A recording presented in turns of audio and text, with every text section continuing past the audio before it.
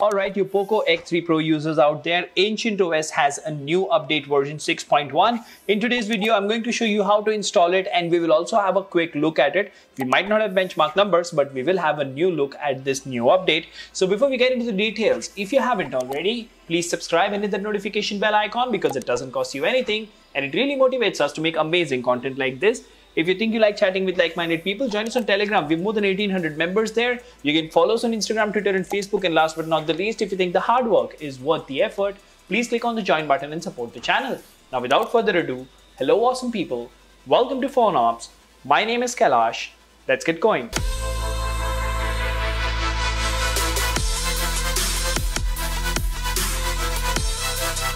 So let's see here what we are going to install today. Ancient OS 6.1 official, POCO X3 Pro works on Vayu and Bhima. Android version is Android version 12 is what we're talking about.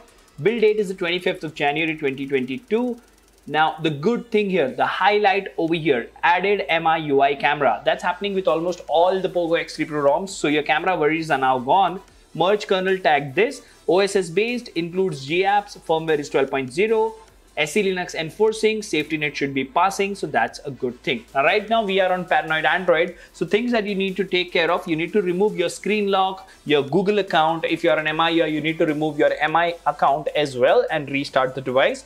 You need to make sure that you have more than 50% battery. You have backed up all the information in your phone's internal storage because that's going to be wiped clean and you also need to ensure you have an unlocked bootloader along with your choice of TWRP installed. Now in this case, you will need the firmware 12.0.4 or 12.0.5 based on your region, whatever works for you. And you will need the ROM, which I have copied to the pen drive. Now, in order to flash, let's go to restart and press and hold volume up and power and keep it pressed till the time you see the POCO logo. Okay. Now let's allow it to enter TWRP. All right, now let's wait for the touch drivers to load. So go to wipe, advanced wipe, Dalvik data, internal storage and cache. If you have your files on the internal storage, don't wipe internal storage.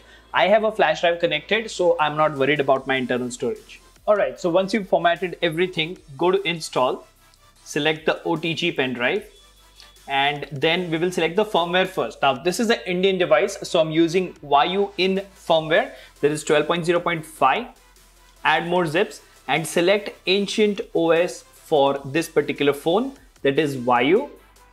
Now swipe to confirm flash. Now these are two files that we are flashing, so it will take about two to three minutes to be flashed. So please be patient while that happens. All right, now as you can see, there is no error and everything has been flashed successfully. So go to wipe, format data and type in yes.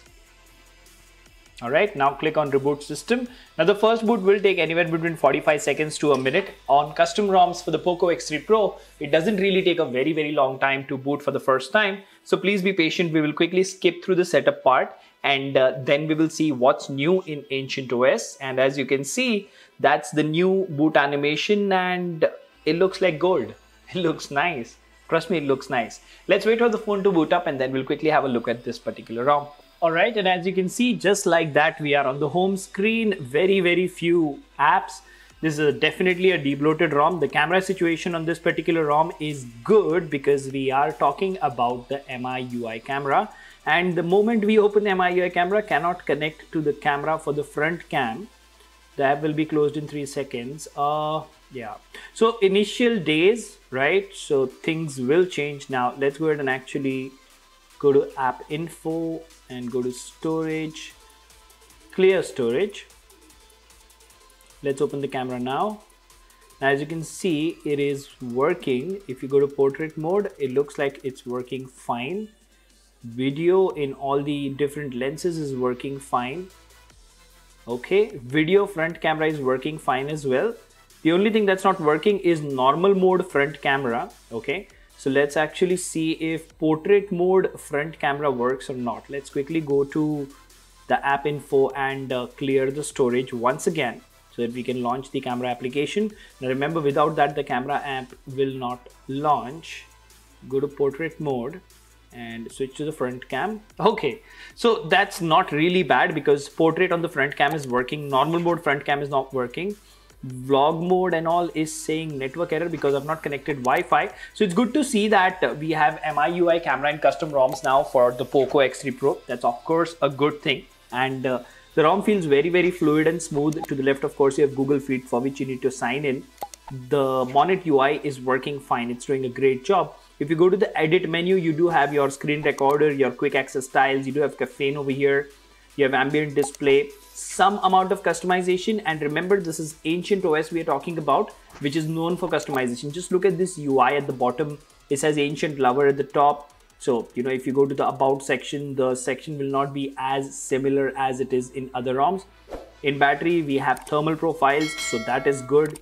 And uh, say, let's go to apps over here there you go we don't have game mode over here let's actually look for game dashboard from android 12 let's see if we have that.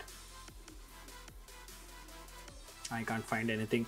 Anyways there are other things that are available just like the recent review of ancient that i did for uh, i think k20 pro now, this is a customization menu. Just look at the amount of customization options that we have. There are a ton of customization options available. And then there is UI customization as well, which is really, really significant. And then you have all the information about this particular build. They are calling it Steel. It's based on Android version 12.